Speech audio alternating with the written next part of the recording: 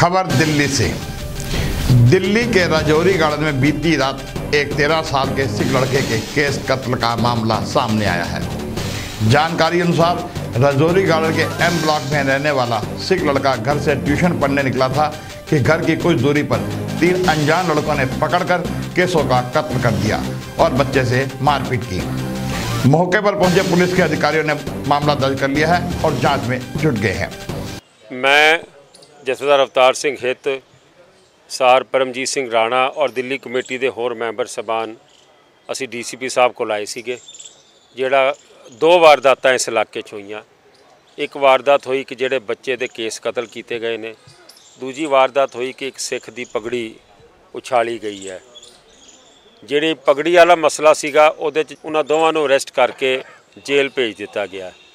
ਬੱਚੇ ਵਾਲੀ ਜਿਹੜੀ ਹਾਦਸਾ ਹੋਇਆ ਉਹਦੇ ਵਿੱਚ ਅਸੀਂ ਬੱਚੇ ਦੇ ਫਾਦਰ ਨੂੰ ਮਿਲੇ ਆ ਔਰ ਬੱਚੇ ਦੇ ਫਾਦਰ ਨੇ ਕਿਹਾ ਕਿ ਮੈਂ ਸੈਟੀਸਫਾਈਡ ਹਾਂ ਜੋ ਇਨਵੈਸਟੀਗੇਸ਼ਨ ਹੁੰਦੀ ਪਈ ਹੈ ਔਰ ਮੈਨੂੰ ਕਿਸੇ ਕਿਸਮ ਦਾ ਪ੍ਰੈਸ਼ਰ ਨਹੀਂ ਦਿੱਤਾ ਜਾ ਰਿਹਾ। ਜਿਨ੍ਹਾਂ ਦਾ ਅਸੀਂ ਨਾਂ ਲੈ ਰਹੇ ਹਾਂ, ਉਹਨਾਂ ਦੀ ਇਨਵੈਸਟੀਗੇਸ਼ਨ ਉਹ ਕਰਦੇ ਪਏ ਨੇ ਔਰ ਡੀਸੀਪੀ ਸਾਹਿਬ ਨੇ ਕਿਹਾ ਕਿ ਸਾਨੂੰ ਉਮੀਦ ਹੈ ਅਸੀਂ ਅੱਜ ਜਾਂ ਕੱਲ ਤੱਕ ਇਸ ਕੇਸ ਦੀ ਜੜ ਤੱਕ ਪਹੁੰਚ ਜਾਵਾਂਗੇ ਔਰ ਜਿੱਥੋਂ ਤੱਕ ਦਿੱਲੀ ਗੁਰਦੁਆਰਾ ਕਮੇਟੀ ਦਾ ਤਾਲੁਕ ਹੈ ਅਸੀਂ ਬੱਚੇ ਦੀ ਪਰਿਵਾਰ ਨੂੰ ਆਖਿਆ ਕਿ ਅਸੀਂ ਉਹਨਾਂ ਦੇ ਨਾਲ ਖੜੇ ਹਾਂ ਔਰ ਹਰ ਕਿਸਮ ਦੇ ਪ੍ਰੈਸ਼ਰ ਪੁਲਿਸ ਤੇ ਜ਼ਰੂਰ ਰੱਖਾਂਗੇ ਕਿ ਦੁੱਧ ਦਾ ਦੁੱਧ, ਪਾਣੀ ਦਾ ਪਾਣੀ ਹੋਣਾ ਫਾਦਰ ਉਹਦਾ ਆ ਗਿਆ, ਉਹਨੇ ਉਹ ਸੈਟੀਸਫਾਈ ਆ। ਉਹਦੀ ਜੋ ਇਨਵੈਸਟੀਗੇਸ਼ਨ ਹੋਈ, ਕਹਿੰਦਾ ਮੈਂ ਆਈ ਐਮ ਵੈਰੀ ਇੱਕਦਮ ਫਸਟ ਹੈਗਾ ਸੈਟੀਸਫਾਈ ਆ ਮੈਂ। ਜੋ ਇਹ ਕਾਰਵਾਈ ਕਰ ਰਿਹਾ, ਜੋ ਇਨਵੈਸਟੀਗੇਸ਼ਨ ਕਰ ਰਿਹਾ, ਸਭ ਠੀਕ ਕਰ ਰਿਹਾ। ਕਿਉਂਕਿ ਪਹਿਲੇ ਕੇਸ ਵਿੱਚ ਉਹ ਦੋ ਮੁੰਡੇ ਫੜੇ ਗਏ ਆ। ਔਰ ਫੜ ਕੇ ਜੇਲ੍ਹ ਵੀ ਭੇਜਤੇ ਨਾਲ 195 ਧਾਰਾ ਲਾਈ ਉਹਦੇ ਉੱਤੇ, ਪੂ- ਪੂਰਾ ਉੱਤੇ ਐਕਸ਼ਨ ਲਿਆ ਇਹਨਾਂ ਨੇ। ਇਸ ਕਰਕੇ ਸਾਨੂੰ ਤਸੱਲੀ ਆ, ਉਹ ਫਾਦਰ ਹੀ ਕਹਿ ਰਿਹਾ ਵੀ ਤੁਸੀਂ ਅਜੇ ਥੋੜੇ ਠੰਡੇ ਰਹੋ। ਸਾਨੂੰ ਜਰਾ ਇੱਕ ਦਿਨ ਹੋਰ ਸਾਨੂੰ ਦਿਓ, ਫਿਰ ਦੇਖਾਂਗੇ ਕਿੱਥੋਂ ਤੱਕ ਪਹੁੰਚਦੇ ਆ। ਪਰ ਅਸੀਂ ਉਹਨੂੰ ਪ੍ਰੈਸ਼ਰ ਦੇ ਕੇ ਗੱਲ ਕਹਿਤੀ ਆ ਵੀ ਤੁਸੀਂ ਤਹਿ ਤੱਕ ਪਹੁੰਚੋ ਵੀ ਵਾਲ ਕੱਟਾ ਕੱਟੇਗਾ ਕੀ ਕਾਰਨ ਹੋਇਆ, ਕਿਵੇਂ ਹੋਇਆ। ਉਹ ਕੱਲ ਤੱਕ ਸਾਰੀ ਰਿਪੋਰਟ ਮਿਲ ਜਾਏਗੀ, ਫਿਰ ਦੇਖਾਂਗੇ, ਫਿਰ ਜਦ ਨਹੀਂ ਤਸੱਲੀ ਹੋਏਗੀ, ਕੋਈ ਗਲਤੀ ਨਿਕਲੀ ਤਾਂ ਬੋਲੇ ਸੋਨੇ ਹੱਲ ਕਰ ਦਿਆਂਗੇ ਫਿਰ, ਚੱਕ ਦਿਆਂਗੇ ਫੱਟੇ ਫਿਰ। ਵਾਹਿਗੁਰੂ ਜੀ ਕਾ ਖਾਲਸਾ, ਵਾਹਿਗੁਰੂ ਜੀ ਕੀ ਫਤਿਹ।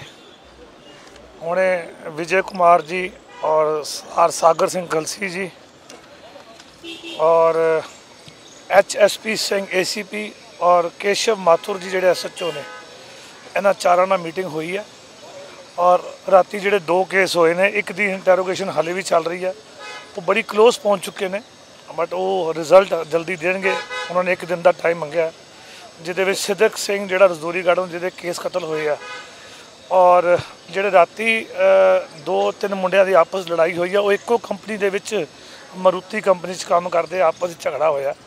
ਔਰ ਉਹਦੇ ਵਿੱਚ ਇੱਕ ਦਵਿੰਦਰ ਸਿੰਘ ਨਾਮ ਦੇ ਬੱਚੇ ਦੀ ਰਾਤੀ ਦਸਤਾਰ ਉਤਰ ਗਈ ਸੀ। ਉਹਦੇ ਵਿੱਚ ਉਹਨਾਂ ਨੇ 295 ਇਹ ਲਾ ਕੇ ਦੋ ਮੁੰਡਿਆਂ ਨੂੰ ਅਰੈਸਟ ਕਰਕੇ ਜੇਲ੍ਹ ਭੇਜ ਦਿੱਤਾ। ਇੱਕ ਦਾ ਨਾਮ ਰਜੇਸ਼ ਗੁਲਾਟੀ ਹੈ, ਇੱਕ ਦਾ ਨਾਮ ਰਾਹੁਲ ਲਾਂਬਾ ਹੈ।